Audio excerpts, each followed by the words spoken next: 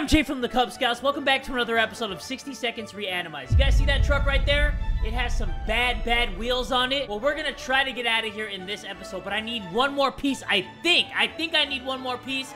We're gonna make sure we get at least one piece this episode. If they don't give it to me, I don't care. I'm gonna take it because that's my piece. If you guys cool and you down with that, everybody get ready and buckle up, because here we go. Man, I was getting a little aggressive in that intro, huh? I was like, give me that, that's my piece. But we're gonna go fat man because that's what I am right now. I'm a fat, fat man. Actually, I'm a bad, bad man because I am definitely not stopping until we get at least one part in this episode for that truck, that ice cream truck. Is that what it's called? Ice cream truck or ice cream car or ice cream van? I have no idea, but if you see somebody driving a van like that and saying, do you want some candy? You better run. You better run. That's advice from your old pal Jay. I'm gonna throw Timmy in there, my good old ginger-haired son. And a little advice for people playing this game. Choose Ted when you scavenge because Ted is worth three parts, and Dolores is only worth two parts. So you might as well get Ted because you can grab Dolores and then you can grab two other items or like something that requires two parts. So you know what I mean? Does that make sense? I think it makes sense. Because if you play as Dolores and then grab Ted, you took up three slots and only have room for one more. But if you play as Ted and then you grab Dolores, you have room for two more items because you have two available hands. What am I even talking about? I have no idea. I could be talking out of my ass for all I care. But you know what? Just because I'm talking out of my ass doesn't mean I'm saying random shit. All it means is that I actually don't have enough time to get this psych. Yes, I do. Okay, get in there, get in there, get in there, bitch. Get in there. Yes! Kobe. Okay, so we got one more part, I believe, for the ice cream truck. Let the hunt for that begin. And ladies and gentlemen, I am on one today. My levels of just hypeness are like right here. You know, usually they're right here. Actually, you know what? They're right here, but now they're right here. They're right here. Like I am jacked on something. I'm jacked on crack. And we got a deck of cards. That's pretty good. Nobody's getting soup and water. And random notes that you think I'm gonna read, but I'm never gonna read it. Ever. In the history of anything. I know in the first Reatomized episode, I was like, eh, I'll read the notes. That's because I was being a little pussy, you know? I was being a little baby bag bitch. But now, I'm not reading anything. Except this. Mary Jane has been awful silent today. This is very unlike her. Should we try talking to her? I guess. I mean, she could just be in her own thoughts. Like, sometimes you just gotta leave somebody alone. Like, just because they're quiet doesn't mean they want to be talked to. Like, sometimes I have a serious face going on, and if somebody wants to talk to me, I'm like, Row! Oh, man, I'm in a good mood today, guys. Like, I'm in a great mood. You guys caught me at the perfect time. Everything is shaking, cans are jumping all over the place. If this had happened after we drank that delicious wine for supper a few weeks back, it would seem perfectly normal. It's either another nuke or a quake. Either way, we need to grab something before everything gets smashed to pieces. The only thing I have is the radio. Thank goodness, I guess. I mean, I'd rather have the gas mask or the flashlight. Maybe I need that for the ice cream truck scenario. If I do, I'm gonna be very angry. I might punch something in the face. And speaking of punching something in the face, Mary Jane is back. And she brought back, uh, more water, I think. Two water and her hairy ass. Really? Two water and that's it? You know what? You're gonna starve for one more day. Just one more. Prepare to scavenge. And we had thought phone calls were a thing of the past. I'm not gonna answer the phone, but I am gonna look at this though. Ooh. Oh. Oh. Ooh. Me gusta. Me gust. You know, it's not even me gusta, it's me gust because I love it so much I can't even finish what I'm saying. Alright, but it's day 10. Time to give them the good stuff. And then we are going to send out MVP Timmy because he's going to do what his sister couldn't do, which was actually help out the family. Day 13. Ted and Mary Jane have been butting heads lately. Today they got into an argument about movie characters, specifically who would win in an ultimate battle, Snow White Seven Dwarves or a group of wasteland bandits. It's a tricky one for sure, and the debate is heated who will come out on top? Ted, of course, because last time I believe I chose Mary Jane, and I think that I got like a can of soup. Oh no, I got ammo. I got ammo, so let's see what happens when I choose Ted. Bruh. We lost the gun. Thanks, Ted! You're an asshole! Ted covered his ears and loudly saying to himself, drowning out Mary Jane's excellent arguments. She escalated the situation by tossing some objects around, whether for emphasis or in an attempt to visually recreate the battle. No agreement was reached and some supplies have suffered. I've suffered. I've suffered way too long for this horseshit, Ted. I can't believe you did that to me.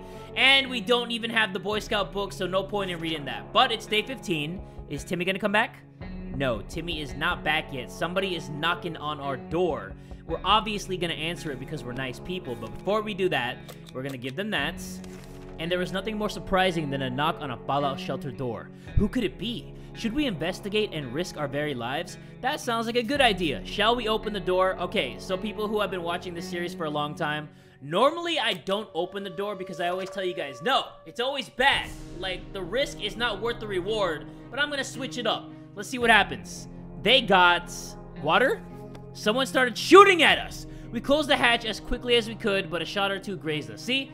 That's why I never answer the door, in real life and in video game form, because I'm not trying to get shot at. And a stranger pushing a rusty wheelbarrow filled with all kinds of goods stopped by today.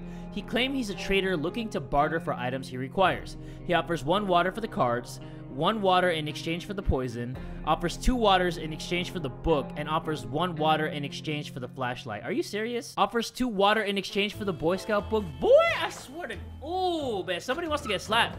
Somebody wants to get slapped, and Timmy is back.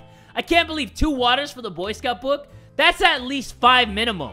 But Timmy brought back two waters, a flashlight, and that's it. You know what? I still love you, Timmy. You know? You brought back shit, but it's my shit. You brought back brown shit, but it's my brown stinky shit. We played a game of list the things you hate the most, and our neighbor's name kept popping up for some reason. That reminded us that the little weasel had a safe in his living room. We always wondered what's inside. Maybe now's the time to finally find out, but who will do the honors of stealing the possessions of our arch nemesis? Okay, so I did this scenario before, and I wasn't really familiar with the situation, but the moment that I went there, they came back and they were sick. So maybe I should get Mary Jane sick and then try to turn her into a mutant? You guys think I should do that? I think I should do that. I know it's a little bit evil trying to get a young girl sick, but you know what? We gotta do what we gotta do, and she is sick. See? I know my scenarios now, but we got the Boy Scout book. You know what? I'll take Sick Mary Jane because we got the Sick Boy Scout book. I'll take that 10 times out of 10. No! Oh my god, Ted. Yikes. If Dolores doesn't come back, I'm gonna get a game over. No. Well, how did Ted die? Ted died from being a baby back bitch? Oh, okay. All right, give the kids water and food. And there's a phone call. You know what, Timmy? You might as well answer it. You're the only one who's not sick. So you're just going to answer it. If Dolores doesn't come back, guys, I'm actually going to be very upset because I think we're going to get an item in this scenario for the truck. I really feel that way. Oh, yes! This is insane! We keep finding spiders everywhere. They're in our soup, they're in our water. We swear some of them keep coming back and they are bigger every time we see them. Yes! Mutant Mary Jane, come to me. Come to me. If she's not here, I don't know what I'm gonna do. Mary Jane. Ah! Why? Why? Oh, we got soup though. You know what? I'll take it. No, I wouldn't take it. I'd rather have mutant Mary Jane than soup. Damn it! All right, so the only one who's able to go outside is Mary Jane, who's not a mutant. You know, I'm only a little butthurt about that, but I'm still butthurt. Like, even just being a little butthurt, I'm still butthurt. I'm mad that she's not a mutant, but you know what? Maybe she'll come back a mutant. That's not likely gonna happen, but what the heck is this? It wasn't a hallucination. There really was an ice cream truck down the street. The vehicle was armored with wooden spikes, decorated with American flags and banners, and fitted with a real cannon. It even had a caterpillar track. All this magnificent beast would need is a driver and some fuel, and I don't have it? No! What do I need? I need five? How many do I have? Three! No! Oh, please come back. Please come back with this scenario. I promise you, I will do anything for soup cans. I will do anything, guys. I will get on my hands and knees. Okay, maybe not my knees, but I would do something, you know?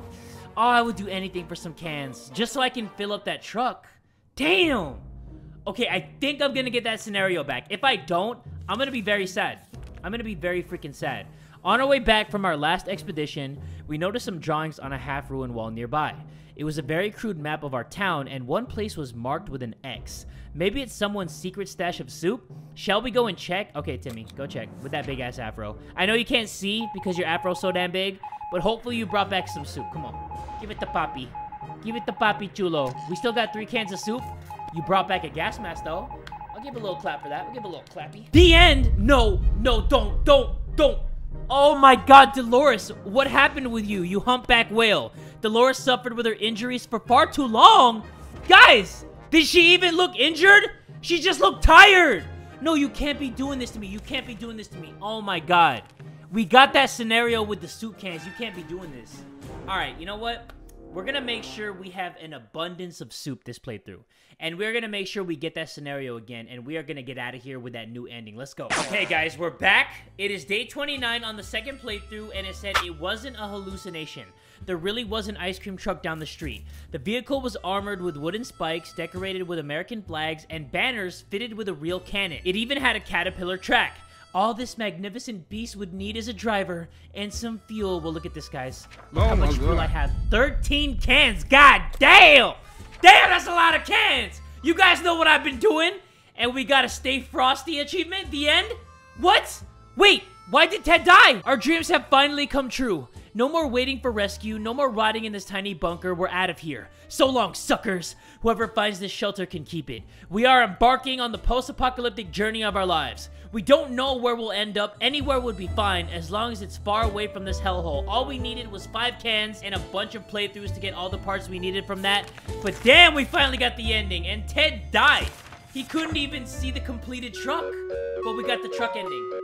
You survived. And there's a nice new tune. Alright guys, I think that took at least 10 playthroughs for me, like personally, because it was random to get that ending. But we finally got the completed ice cream truck ending. I think you guys have been telling me that there's also a tank ending. Like you guys were telling me that you can get a tank and then you can get an ending that way too. I think it's pretty much the same thing but you're either gonna get an ice cream truck or a tank. I happen to get the ice cream truck, so I think if you guys want me to get the tank ending, it's gonna be the same exact process as this. But yeah, I actually thought that the ending for that would be a little bit better. I'm kind of disappointed in that, but you know what? It is what it is. We got away in the truck, and I guess we're gonna start a new journey somewhere else. I wish that it would start off and you're in a new place. That would be pretty damn cool. But anyway, guys, if you enjoyed this whole playthrough of 60 Seconds Reatomized, make sure you guys give this video one big fat like.